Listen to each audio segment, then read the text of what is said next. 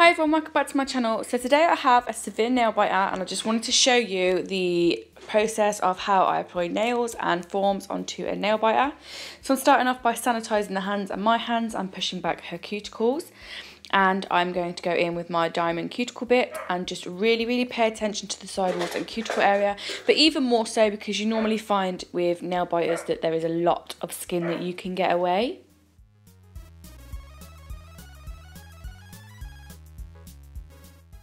I'm then going to go in with my sanding band on a low speed and really, really get in them sidewalls and cuticle, making sure that I'm etching the plate really, really well to make sure that we have done as much prep work as possible. We don't want any lifting or anything so that the client can pick or bite because obviously she is a nail biter so any little bits of acrylic or skin she will absolutely pick and bite at.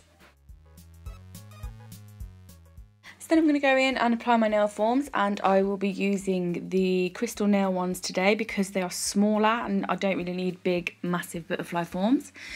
And on the little finger it was easy to just slot in but any nails that are quite wide and flat I will just make two little slits either side of the nail plate and that way it will fit nice and snug under the nails.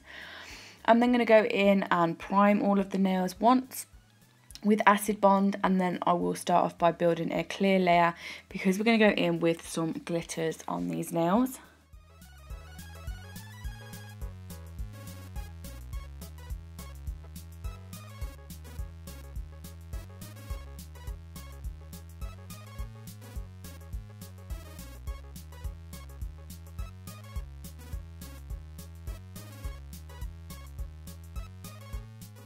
I'm then going to go in with peach sorbet and create a blended nail bed colour. I'm just going to keep this thin, but making sure that I'm adding enough strength in there to make these nails strong.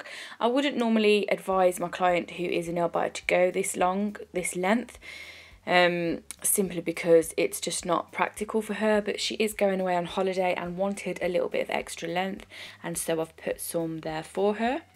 So I'm going on with this purple matte multi-cut glitter from the Glitter Fairy as well as some Rainbow Shine multi-cut, just dotting that around to give the matte glitter a little bit of sparkle. And then when I'm happy with where all that is placed, I will go in and apply my crystal glass and cap everything really really well making sure my apex is in the right place and that we're not applying it too thick um, especially at the free edge because we don't want any weight on that free edge that will um, bring her nail down and make it lift because it's too heavy and her nail bed is really really small. And as you can see not only is she a nail biter her nail beds are super tiny. So moving on to the ring finger and I'm going to just apply a full glitter nail. So I'm going to completely cover the nail in crystal glass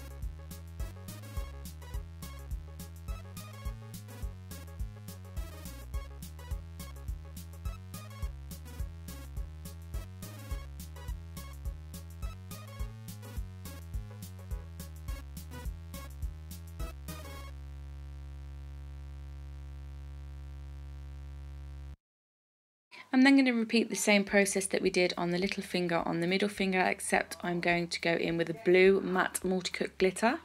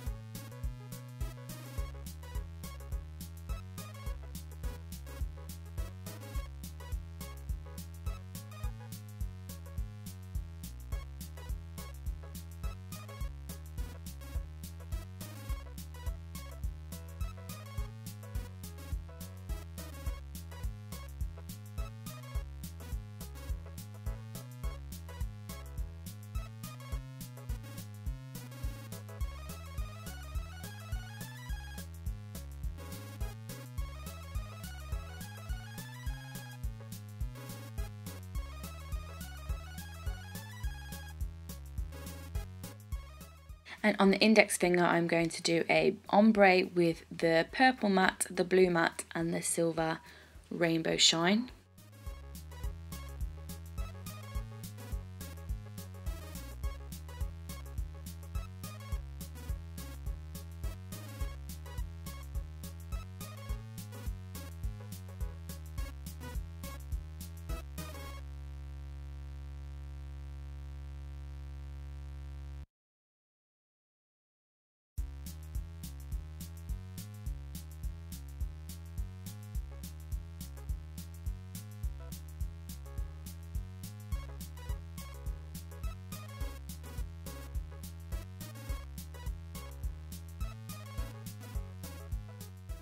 So as you can see on the thumb here, I've made two slits in the nail form so that I can fit the nail form snugly under the nail. Otherwise, we will have big massive gaps. So I've just customised the form to fit her nail really, really snugly to make our extensions as secure and long lasting as possible. And again, I'm just going to go in with a clear layer. I am using my size 8 alpha brush and it is oval and there is a coupon code in the description box for a discount off them.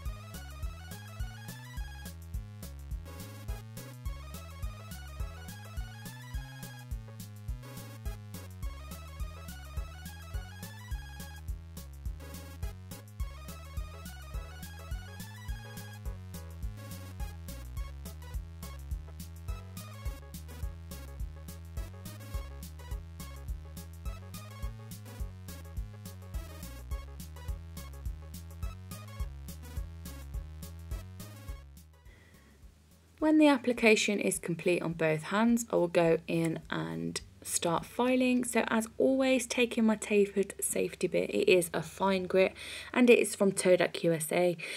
Really nicely going around the cuticle area and side walls to make sure they're nice and flush. And over the entire body of the nail, just to make it a lot more easier when I'm going in with a hand file. Hand filing routine is always the same. So I've got sidewalls, free edge around the cuticle area contour the whole body of the nail so it is as even and as nice as I can possibly get it. And then I'll clean away all the dust, apply my top coat and cuticle oil and that will be the finished video. I know it's not like the best set of nails ever, but I wanted to really show you that not everybody has beautiful, natural, long nail beds that make extensions look flawless because most of the time, most normal regular salons have women who have nail beds that are short, fat, little, small, bitten, and it's not always realistic to have some flawlessly flawless set of nails. And so this is the best that I could do with what I had and my client was absolutely over the moon and so was I and I suppose that is all that really matters but don't fear the nail biter because I can guarantee you if you can give them nice long lasting nails they will be one of your most loyal customers. I hope you've enjoyed this video. If you did, give it a thumbs up. And if you're not already subscribed to my channel please do. I love you all and i'll see you all in my next one. Oh, and by the way if everyone asking i have recorded my own nails but it is not ready yet. So i'm really excited to upload that one for you i love you all. Bye